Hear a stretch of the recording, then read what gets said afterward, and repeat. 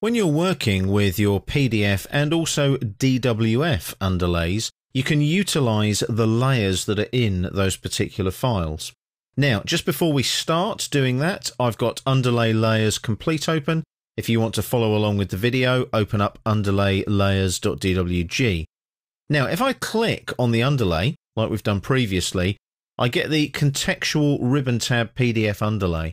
Now you'll notice I've got the ability to edit the PDF layers right there. So if I click on that button there, you'll see that there's one layer available in my PDF underlay 001-1 there. If I click on the little light bulb there, I can switch that off. It still shows the edge of the PDF underlay with the black line on the XREFs layer, but if I click on the light bulb again, brings that layer back. Now I can do that both in PDFs and DWFs, but it's a nice little tool that allows me to work with the layers in my underlay. I'll just OK that for the moment. Now, if I go back to the Home tab on the ribbon and go to my Layers panel and open up my Layer Properties Manager, what do you notice about the layers?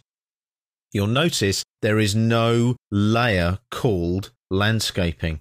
That's because it's a PDF underlay layer and it doesn't actually come into your AutoCAD layers.